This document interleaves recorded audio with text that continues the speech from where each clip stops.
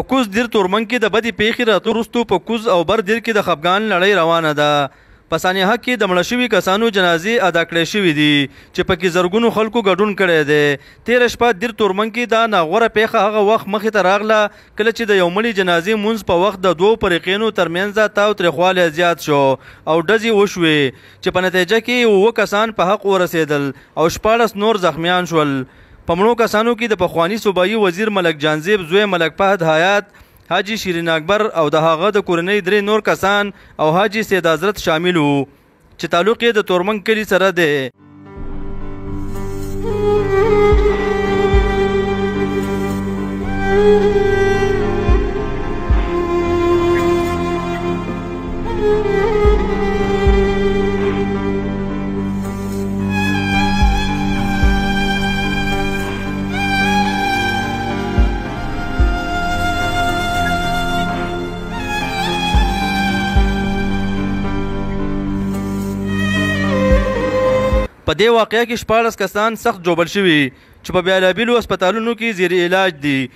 د حق رسېدلو کسانو جنازې په تورمنګ کې ادا کړې شوې او خاورو ته وسپارل شو